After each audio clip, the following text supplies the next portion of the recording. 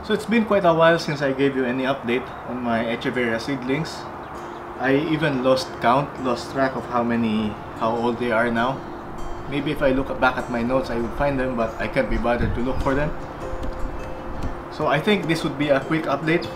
From memory, I think I sowed them around October and November or was it November and December. These two trays are a month apart. This tray closer to me contains Echeveria elegans seedlings well this ones would be assorted.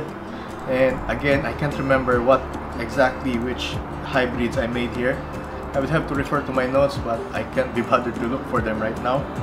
I watered this trays recently. I think it was just a couple of days ago. What I usually do is to just flood the tray and using wicking action let the water rise up. They still look quite wet and some algae are starting to grow but I don't mind. I leave I usually leave the flaps open, this ones, that way they would still get a bit of ventilation but it would remain humid enough that they don't dry out. And seedlings at this stage especially need lots and lots of moisture.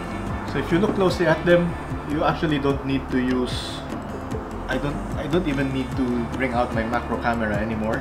You could just look at them as is, bare with your bare eyes.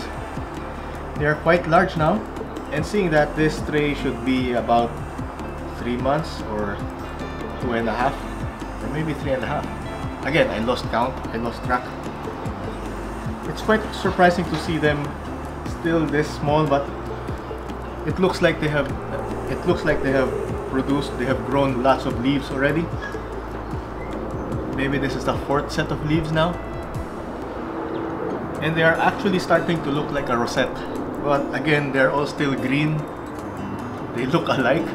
And right now it's hard to tell which one is which. I can't even tell them apart from species.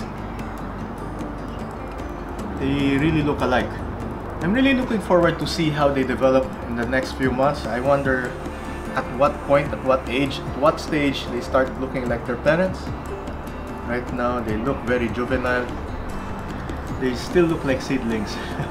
I don't I still don't see Echeverias, but again, these things take time and I guess all we have to do is wait. So, I'll see you in the next update. Bye.